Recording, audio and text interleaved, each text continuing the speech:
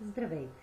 Аз съм доктор Алчева и съм секретар на Сдружението на педиатрите специалисти от извън болничната помощ.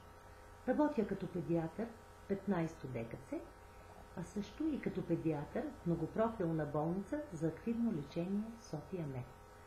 Радвам се, че отново сме заедно тази вечер.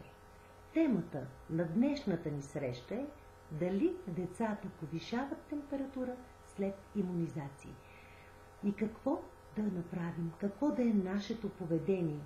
Необходимо ли е да даваме антипиретици, в какви дози и кога е необходимо това. След като изложа моето становище, ще отговоря естествено и на въпросите, които вие сте подали тук в студиото. Ако възникнат въпроси, които ви интересуват по време на лекцията, можете да ми пишете и ще получите отговор в писмен вид. Преди да се спра конкретно на фебрилната реакция при децата след иммунизациите, искам да ви кажа няколко думи за телесната температура при децата и какви са особеностите на детския организъм и на терморегулацията, какви са механизмите на терморегулацията. Повечето родители изпитват естествен страх от високата температура. И понякога това води до ненужно агресивно лечение и сваляне на температурата. Понякога родителите будят децата си, за да им дадат антипиретик, дори когато температурата е под 38 градуса. Това не е необходимо. Спокойното поведение, както на родителите, така и на здравните специалисти, е важно условие за трезва оценка на ситуацията и за избор на най-правилния терапевтичен подход. Повишената температура е едно от най-честите остри състояния в детската възраст. Това е една универсална защитна реакция, която спира и забавя развитието на много микроорганизми, но в същото време стимулира имунният отговор на нашия организъм. Субфебрилитетът не изисква лечение. Високата температура трябва да бъде понижавана, ако причинява страдание на детето. По-важно е да лекуваме основното заболяване, защото лекувайки основното заболяване с правилните медикаменти, то ние ще постигнем оздравяване и температурата ще спадне.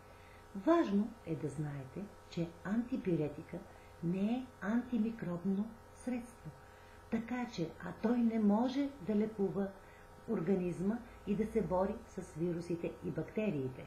Обратното също е много важно. Антибиотикът не е антипиретик.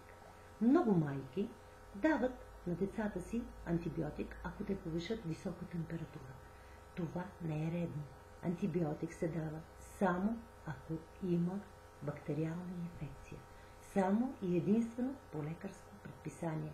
Той няма да доведе до сваляне на температурата на вашето дете. Но всъщност, колко е нормалната температура? По принцип, за нормална се счита температурата между 36 и 37 градуса. Някои автори дават до 37,2. Температурата от 37 до 37,9 се счита за леко повишена или субфебрилна, както ние наричаме. От 38 до 38,9 градуса говорим за умерено повишена температура. И едва от 39 до 39,9 говорим за висока температура. Вече над тези стойности, над 40, тогава става дума за хипертермия. Трябва да се знае, че телесната температура се променя през деня. Тя има денонощни колебания, така наречения циркаден ритъм, който е характерен и за други биологични процеси, както и кръвното налягане, както хормоните променят нивото си през деня, така и при температурата има такива денонощни колебания. Най-низките стойности на температурата са в малките часове на деня, към 3 часа през нощта обикновено температурата е най-ниска, а най-високи стойностите са към 17-18 часа през деня. Като разликите достигат от 0,2 до 0,8 от градуса, т.е. приблизително 1 градус. Така че, мерейки температурата на детето, вие трябва да отчитате именно и тези денонощни колебания. Затова в болниците, когато мерим температурата на децата, знаете, че сестрите раздават термометрите сутрин преди визитация и също след обяд преди следобедната визитация. Така че трябва да отчитаме температурата по едно и също време в различните дни, за да знаем наистина действителната стойност на разликите. Освен това е важно да се знае и че стойностите на температурата са различни в зависимост от това къде тя е измерена. Най-добре и най- според мен правилно е да се измерва аксиларно, т.е. под мишницата. Но понякога малките деца се съпротивляват, не ми съдействат, не желаят температурата им да бъде измерена, да държат термометъра и тогава при тях се налага ректално измерване на температурата. Трябва обаче да се знае, че има разлика между аксиларната и ректалната температура. И тя също е от 0,5 до 0,8 от градус. Тоест, ако вие измерите ректалната температура при бебето 37,3, не бива да изпадате в паника, това значи, че температурата му е нормална. Ако свалиме 6 десети, 5-6 десети, тогава тя ще е 3, 6 и 7 т.е. детето няма температура. Имайте предвид, че нашият организъм е една съвършенна машина и той се опитва непрекъснато да се справи и да регулира температурата. И той си има своите механизми. Например, когато ни е студено, знаете, че ние пребледняваме, кожата ни настръхва, кръвоносните съдове се сиват и по този начин той се опитва да съхрани температурата, да не се излъчват топлина от нашия организъм. В същото време, ако е много студено, започваме да треперим от студ. Това треперен, това съкрещаване на мускулите води до производство на топлина и по този начин се регулира нашата телесна температура.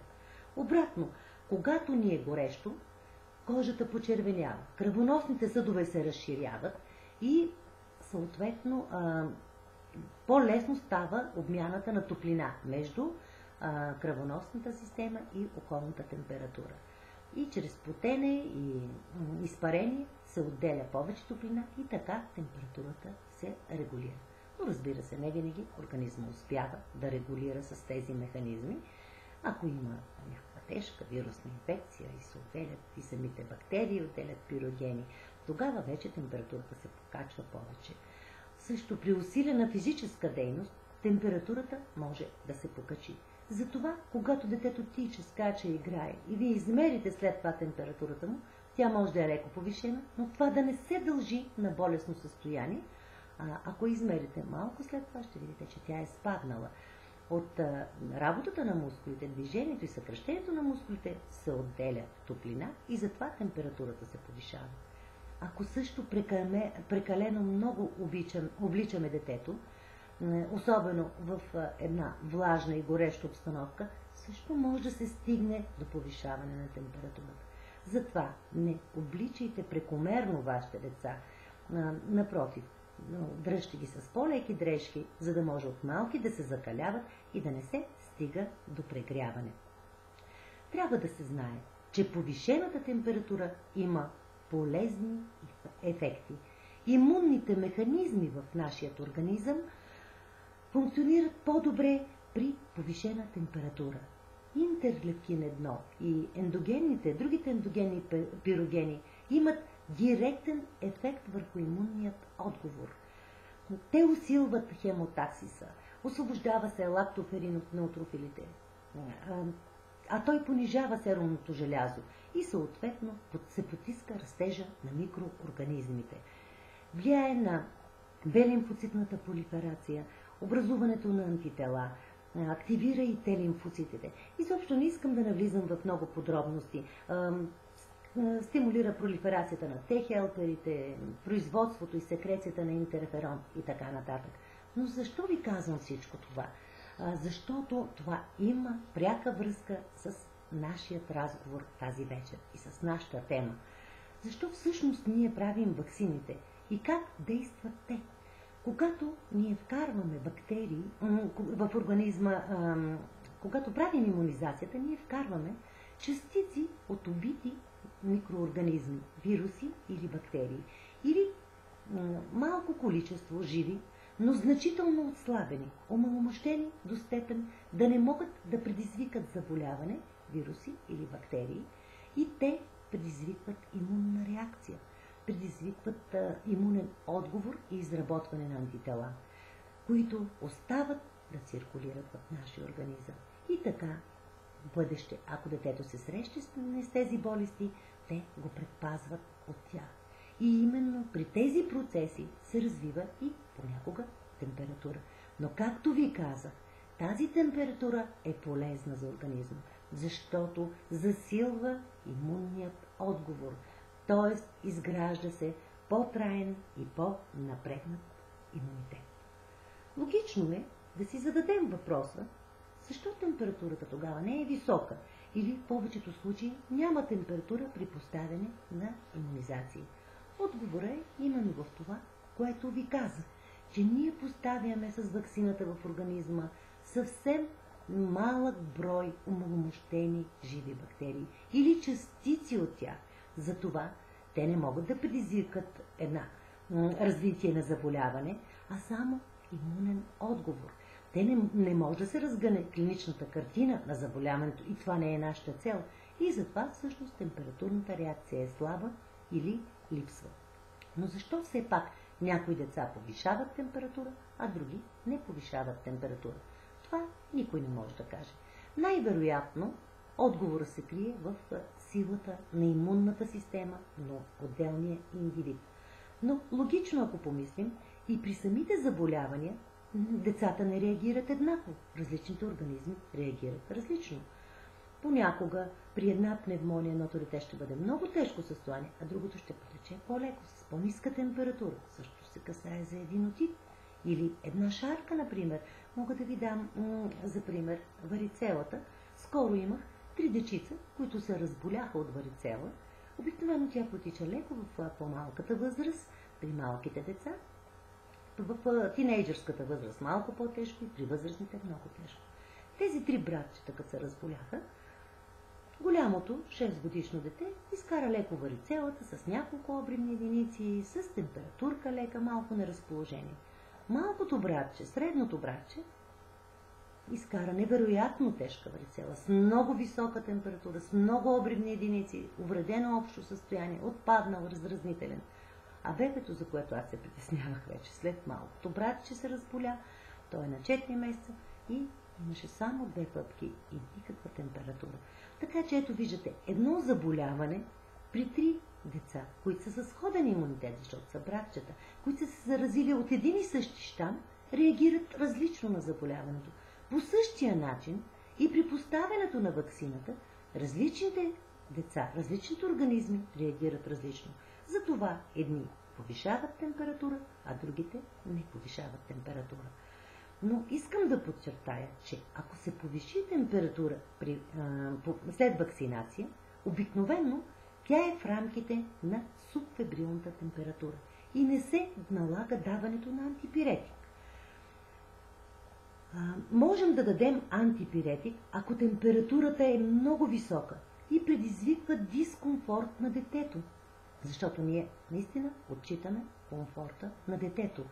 Така че, ако температурата е висока или пък може да няма температура, но то плаче, боли го нещо явно, ние не можем да го успокоим в продължение на 10 на минути и повече, тогава естествено, че ще му дадем лекарство, което да го обезболи.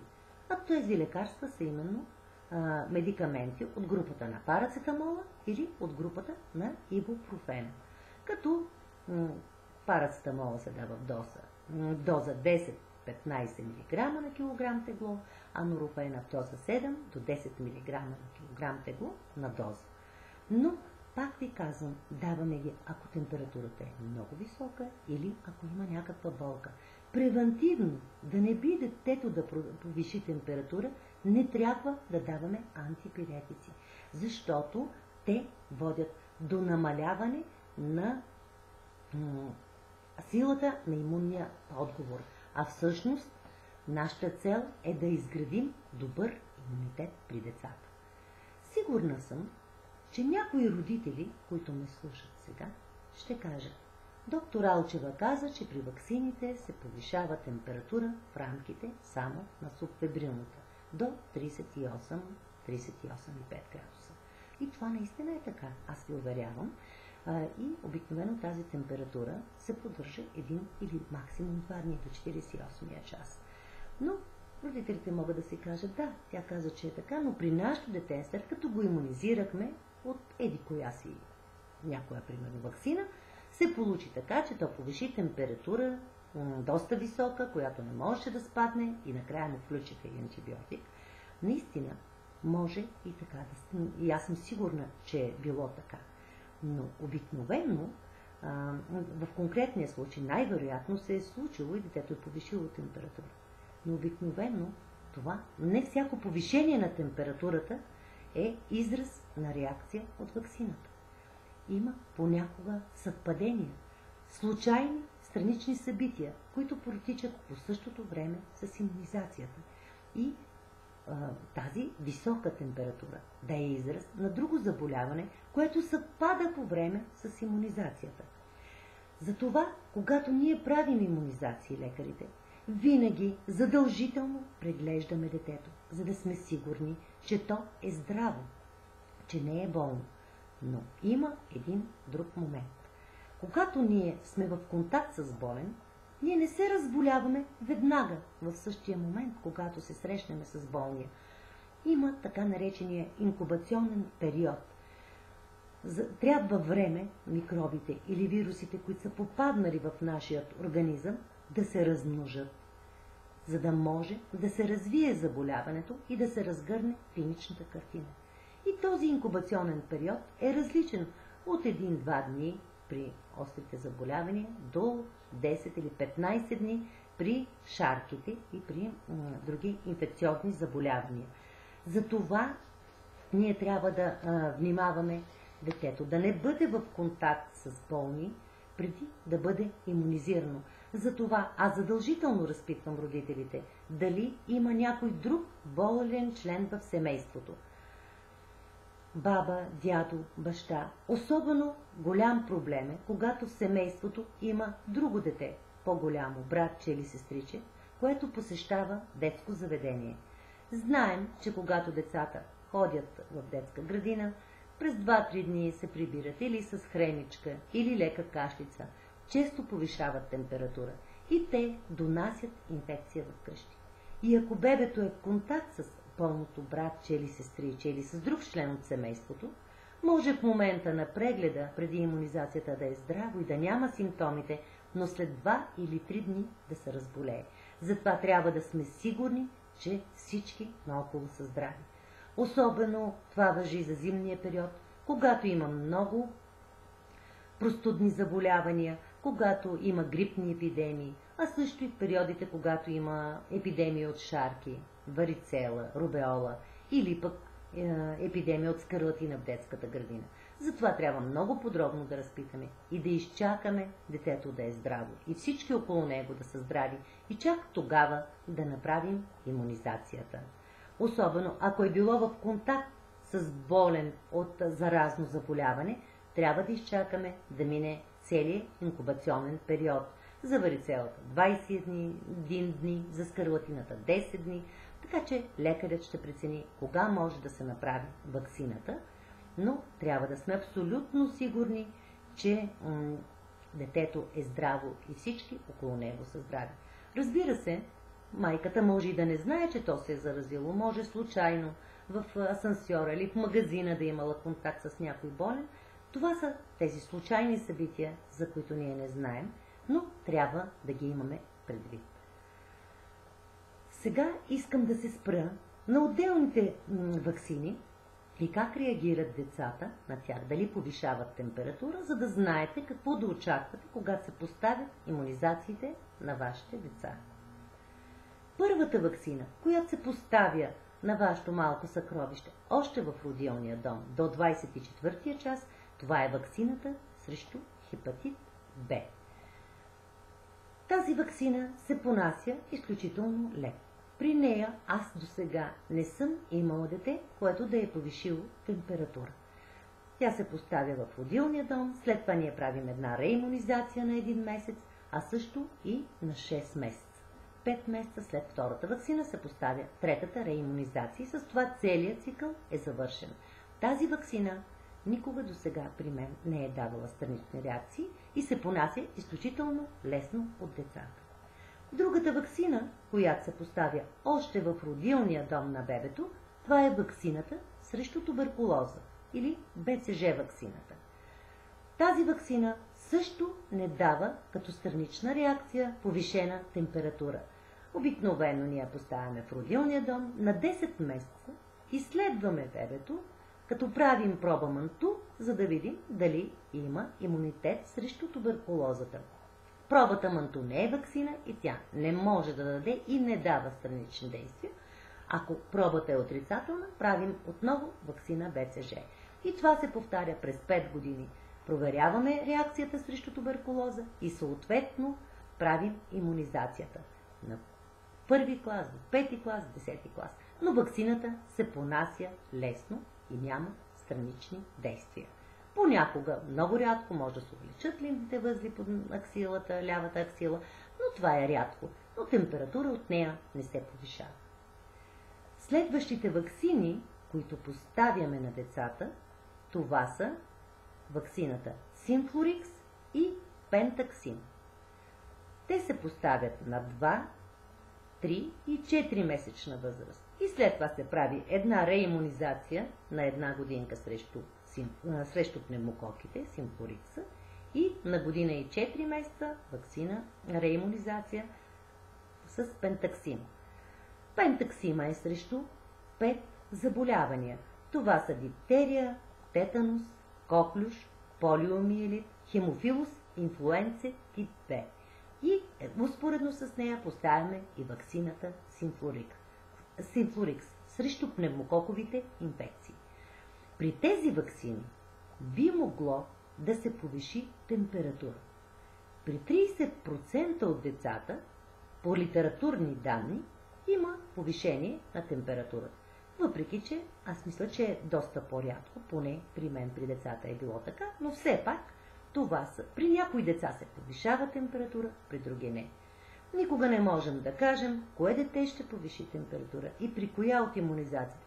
Понякога детето повишава температура на първата иммунизация, на втората няма, на третата отново повишава температура.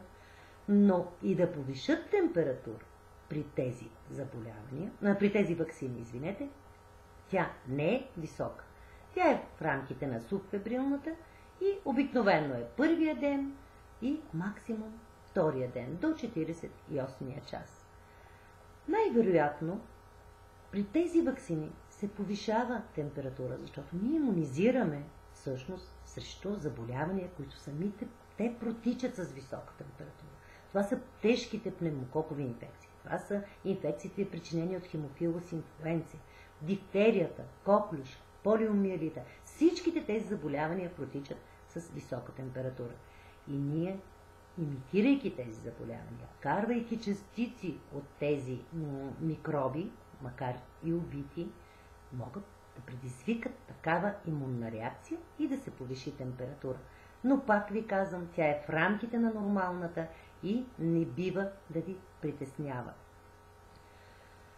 След тази вакцина, последната вакцина, която е задължителна от иммунизационния календар, това е вакцината срещу морбили, заушка и рубеола, която се поставя на една година и един месец, или вакцината Приорикс. При тази вакцина не се очаква да се повиши веднага температура същия или на следващия ден. При нея реакция може да се появи до края на първият месец.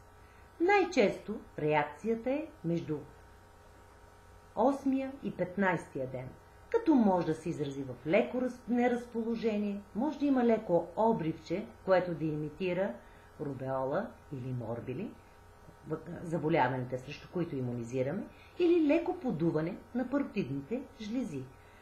може да се повиши и температура, която също е в рамките на субфебрилната. Затова, ако има някаква реакция, вие трябва да уведомите вашият лекар и да се обърнете към него, за да ви каже какво, какъв да е вашия подход. Обикновено едно леко противоалергично лечение може да помогне с калциев глюконат или витамин С да се даде. Ако фебрилитетът е висок, тогава бихме могли да дадем а, и някакъв антипиретик.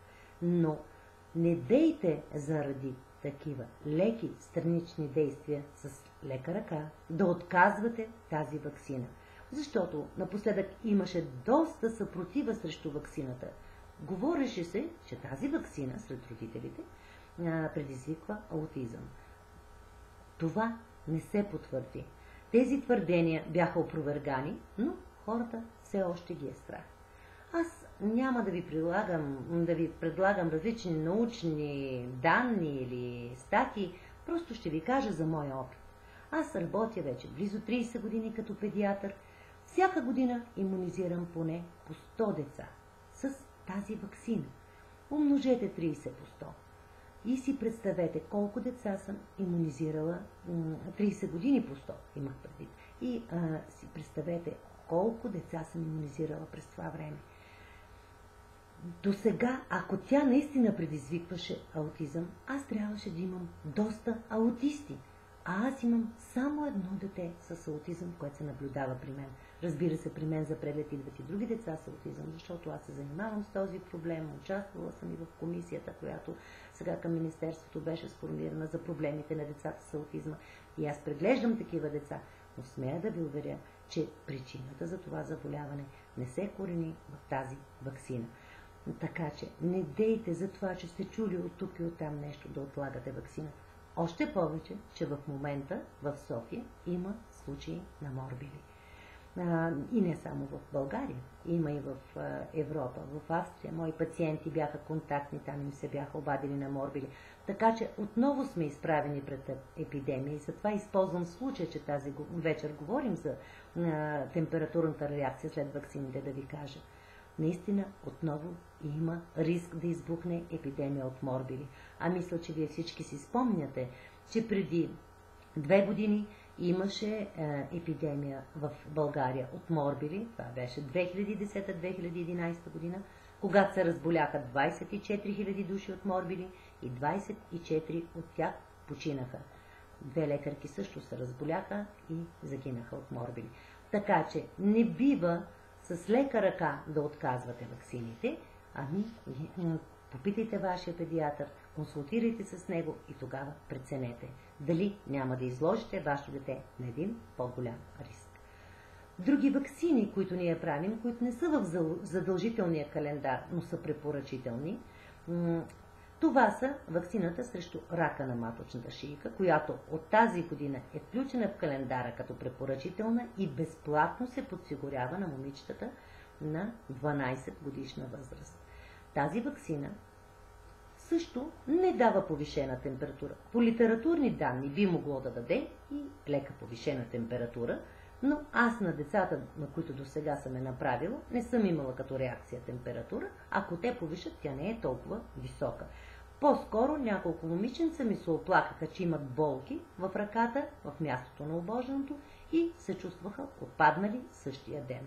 Разбира се, при нея може да се повиши температура, но не е рутинно и не е често, така че тази температура не е опасна.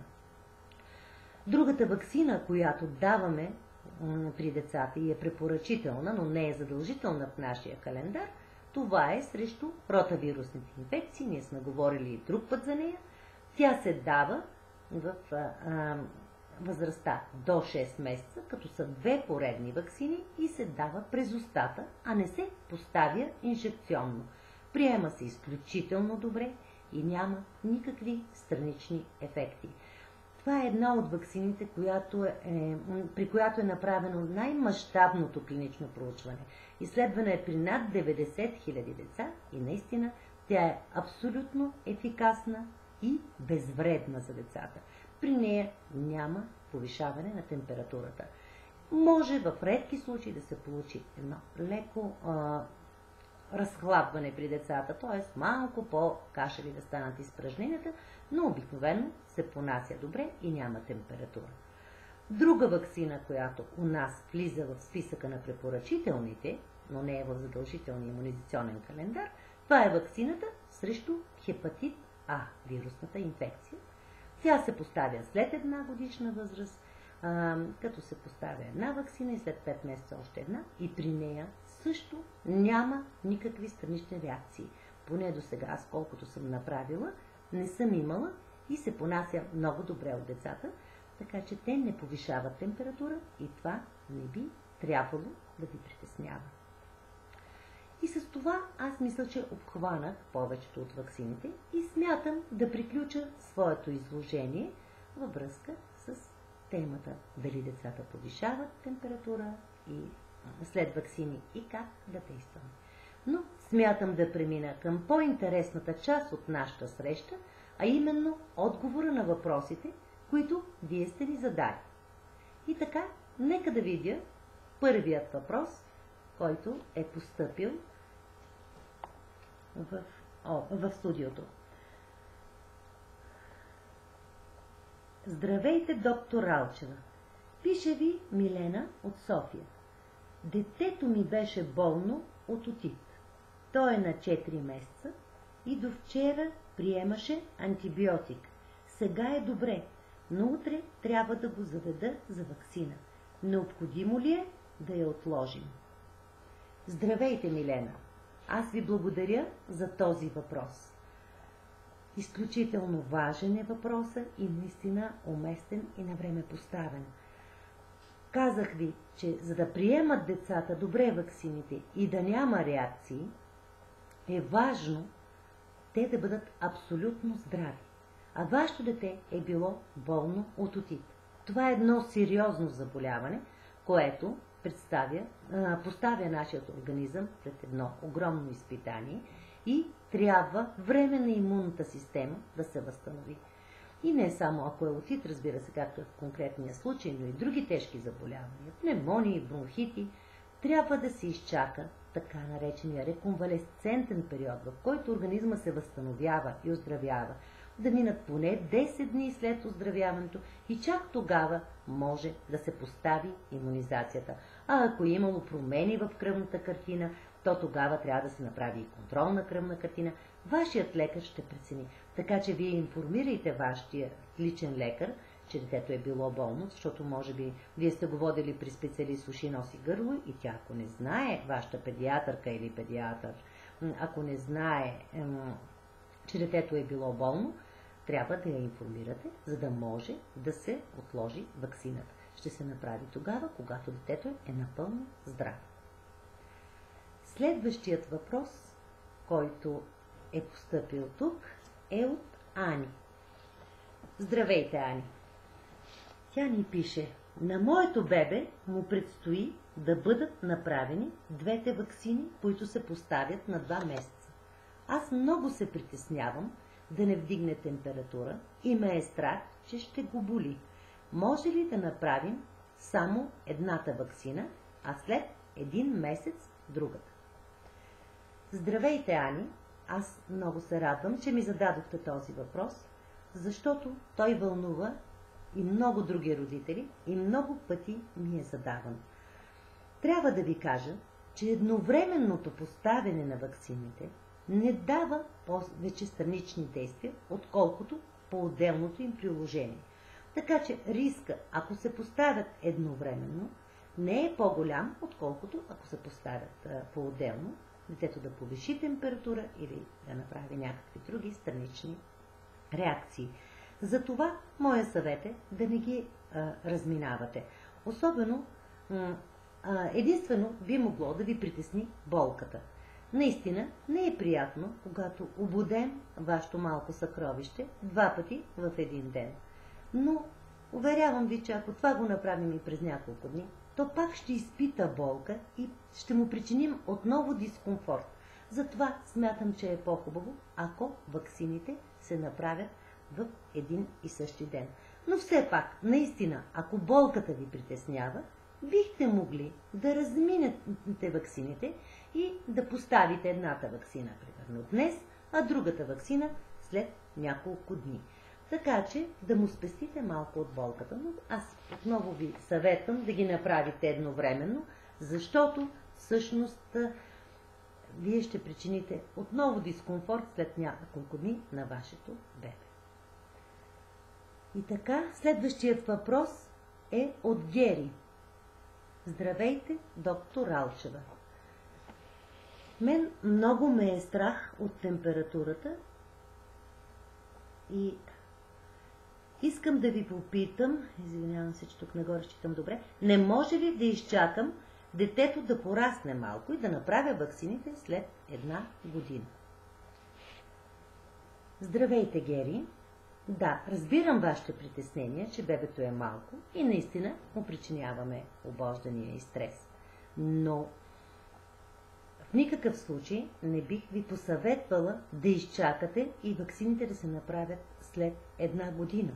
Защото обикновенно тези заболявания, от които искаме да предпазим малките деца, протичат най-тежко именно в ранната детска възраст, в ранна кърмаческа възраст. И затова целта ни е да обхванем децата, докато са още малки, за да ги предпазим от тези заболявания. Искам да ви кажа, че след въвеждането на симфлорикса, т.е. ваксината срещу пневмококовите инфекции, през 2010 година като рутинна иммунизация при нашите деца, за първи път през 2011 година нямаме отчетен случай на починало кърмаче до една годишна възраст от пневмококов менингит. Това е едно изключително голямо постижение. А точно това ви казвам, че в възрастта преди една година пневмококите протичат изключително тежко. Водят до отити, до пневмонии, до менингити и до смърт. Хемофилус инфлуензе също в тази възраст води до тежки осложнения. Отити, ларингити, бронхити, пневмонии, менингити. Ротавирусните инфекции също протичат най-тежко именно във възрастта преди една година. Децата, които са с тази инфекция, най-често се налага да бъдат хоспитализирани, защото при тях протичат много тежко инфекциите. Така че отлагането им след една година крие риск детето ви преди това да се зарази и заболяването да протече тежко при него. Затова аз не ви съветвам да отлагате вакцината. Още повече, че колкото детето е по-голямо, имунната система е много по-силна, много по-добре развита и реагира по-бурно и детето ще понесе по-тежко вакцините, ще има по-висока температура и повече странични реакции. Затова и моят съвет към вас е да направите ваксините на време, защото и ефектът е най-добър, когато се направят по схемите, които са предложени от производителя.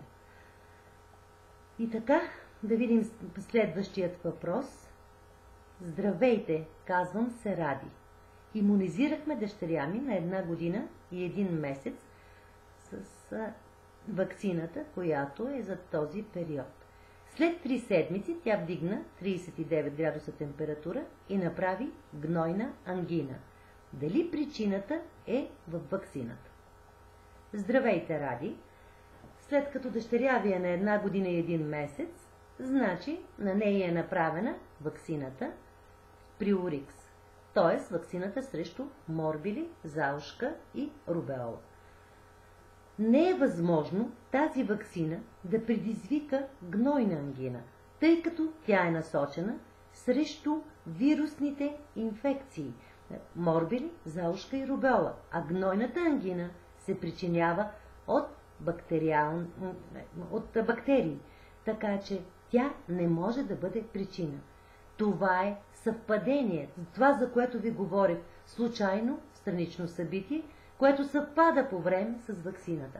Най-вероятно дъщеря ви е имала контакт с болно след вакцинацията и се е заразила и това е довело до нейното заболяване. И така мога да отговоря на още един въпрос. Той е зададен от Теди. Аз съм Теди. Голямото ми дете е на 4 години. Преди една година направи гърч по време на ангина.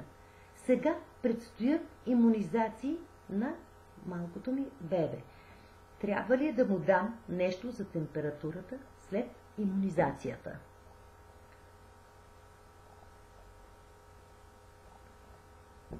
Извинявайте, здравейте, Теди.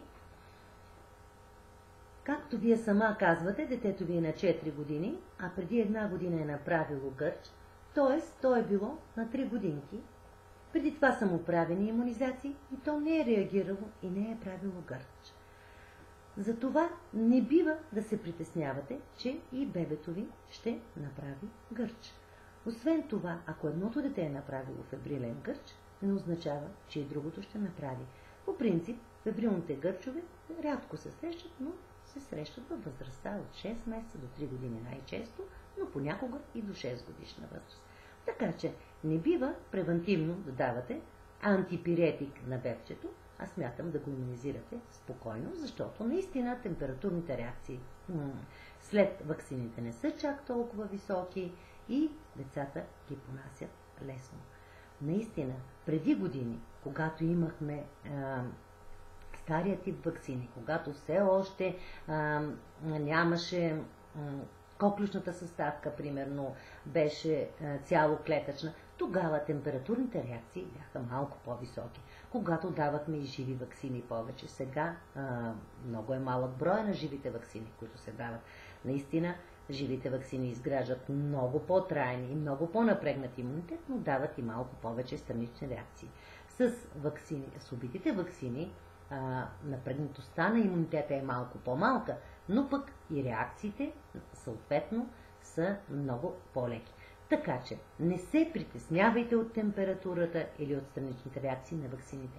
Мислете си, че вие правите най-доброто за вашите деца, като ги защитавате от тези тежки заболявания, които, ако децата се разболеят, биха изкарали много по-трудно и биха имали много по-висока температура и биха страдали много повече. Затова моя съвет е доверете се на вашите педиатри, на вашия личен лекар и направете най-доброто за своето дете, за да го предпазите от всички тези тежки заболявания. С това нашата среща приключи. Аз ви благодаря, че бяхме заедно и ви пожелавам хубава и успешна вечер.